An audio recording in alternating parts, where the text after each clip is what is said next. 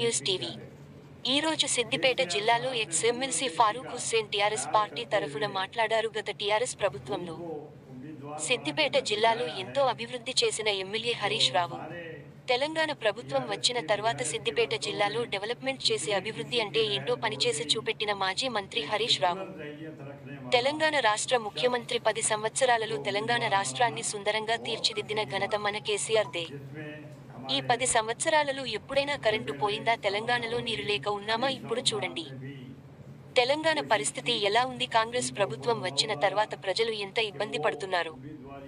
మన మాజీ ముఖ్యమంత్రి టీఆర్ఎస్ పార్టీ కల్వకుంట్ల చంద్రశేఖర్ రావు షాదీ ముబారక్ కళ్యాణ లక్ష్మి వృధాప పింఛన్లు ఒంటరి మహిళ రైతు భరోసా రైతు రుణమాఫీ పదేళ్ల కేసీఆర్ పాలనలో ఎన్నడూ కరెంటు పోలేదు మళ్లీ రాష్ట్రం సుభిక్షంగా ఉండాలంటే కారు కేసీఆర్ రావాలని ప్రజలు కోరుకుంటున్నారు ex MLC Farooq Hussain media సమావేశంలో మాట్లాడారు अब एमएलसी और एमपी कैंडिडेट केसीआर साहब ने दूरंदेशी का ख्याल करते हुए उनको उम्मीदवार बनाकर जब भेजाया है तो सारे टीआरएस के बीआरएस के वर्करों में इतनी खुशी की लहर दौड़ गई कि एक सेकुलर जहलीत रखने वाला शख्स को उम्मीदवार बनाना बहुत खुशी की बात है। जिसमें हमारे एम एल ए, सबका वज़ीर, हरीश राव साहब ने भी कोशिश की, उनके ऊपर दबाव डाला कि वो उम्मीदवारी के लिए कबूल करें। क्योंकि हमको यानी कि कॉन्सेप्ट तक ही महदूद होने के चंद लीडर्स थे। लेकिन वेंकटराम रेड्डी संगारेड्डी में भी काम करे मेदक में भी काम करे और सिद्दीपेट ज़िले में भी काम करे। अच्छा नाम है, खानदानी दौलतमंद है और 100 करोड़ रुपए का जो ट्रस्ट लगाकर बिला लिहाज मदब मिलत काम करने का जो वादा किए हैं, बहुत बड़ी खुशी की बात है। कि गरीब लड़कों को, लड़कियों को जो तालीम के लिए अपनी वालदीन, उनकी फ़ीस, यानी उनको कॉम्पिटिटिव एग्ज़ाम्स में ट्रेनिंग देने के लिए जो हैदराबाद जाकर वो ट्रेनिंग लेते हैं, हज़ार, पाँच हज़ार छः हज़ार साठ हज़ार, सत्तर हज़ार रुपये जो बनते हैं, वैसे लोगों के लिए भी तबके से ताल्लुक़ रखते हैं। लेकिन जिनको तालीम दे रहे थे, वो S C B C minority तबके से ताल्लुक़ रखने वाले खातन बच्चियाँ थी, उन बच्चियों को गले लगाकर जो उनके आँखों में भी आँसू आए थे तो मैं भी इंसानियत का जज्बा जो आज भारतीय जनता पार्टी फैला रही है, कि मैं बोलना चाहता हूँ कि हिंदुस्तान में जैसा कि पंडित जवाहरलाल नेहरू, महात्मा गांधी, मौलाना अबुल कलाम आज़ाद, बाबा साहब अंबेडकर ने कहा है कि हिंदू मुसलमान, सिख, ईसाई आपस में भाई भाई का जो नारा दिया था, यहाँ पर के साहब उसी नारे के तहत काम कर रहे हैं। कल मैं के साहब से बात किया तो यहाँ पर जो शादी खाना जो वो कामारेड्डी की टर्निंग जो पहले से पलट रहे थे तो फारूक भाई आगे, इकबाल मीनार है ना? इकबाल मीनार का चौक था उसके बाद शादी खाना ना मदीना पटना ये बात कह रहे थे कि जब वो एम थे तो यहाँ पर शुरुआत किए थे।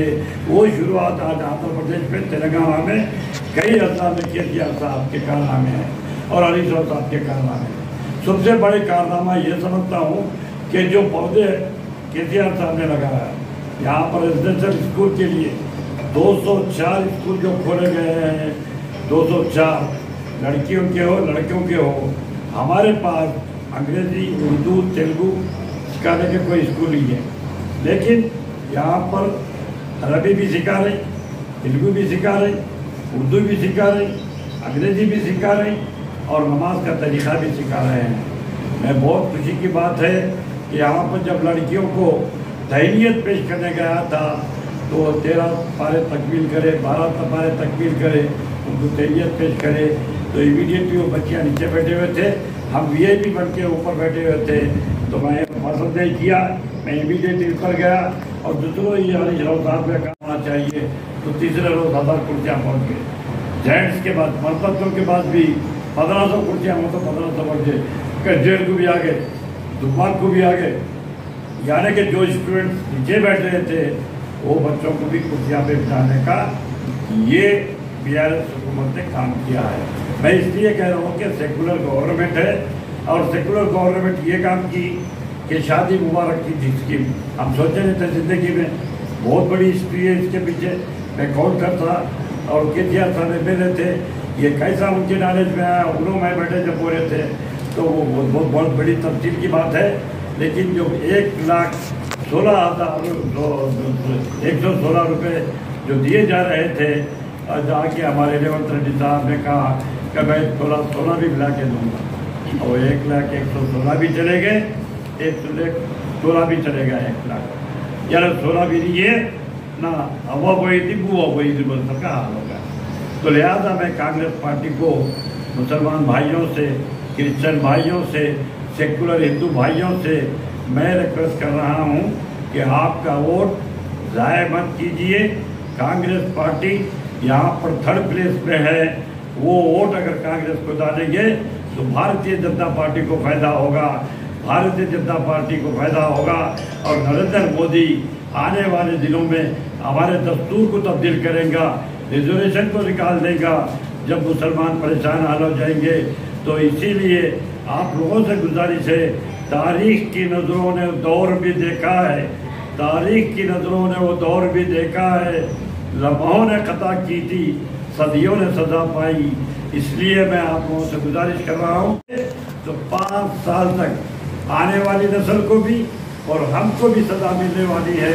इसलिए secular party TRS party BRS party जो हरीश राव साहब यहाँ के एम एल है और हमारे के सी आर साहब, हमारे कायद है, उनको वोट दीजिए, कहा के अनुसार को वोट दीजिए और कई स्कीमात है। और ऐसे स्कीम है। हमारे बच्चे आला तालीम के लिए लंदन जाना चाह रहे, अमेरिका जाना चाह रहे, ऑस्ट्रेलिया जाना चाह रहे, सऊदी जाना चाह रहे या चाइना जाना चाह रहे यानी तो और जो कंट्री जाना चाह रहे मैं तो यूक्रेन में भी कई परसों हाल में जो जंग हुई मैं समझा कि यूक्रेन से भी बच्चे आ रहे हैं। तो ये 20 लाख रुपए और ऐसे स्कीम के भी दिए गए हैं।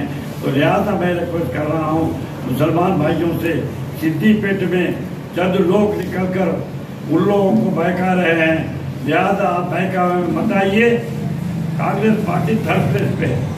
बीआरएस पार्टी फ़र्स्ट प्लेस पे है अगर मुसलमानों के वोट कांग्रेस को चले गए तो बीजेपी अगर जीत गई तो मोदी साहब ने राजस्थान में कहा था कि हिंदू को एक अक्सरियत वालों के सोरा खींचेंगे, जायदादें खींचेंगे, ज़्यादा बच्चे जो पैदा करते हैं उनको देंगे। तो मैं मोदी साहब से ये सवाल कर रहा हूँ कि भाई, आप, हमारे वज़ीर आज़म है अब सबको बराबर लेके चलना चाहिए।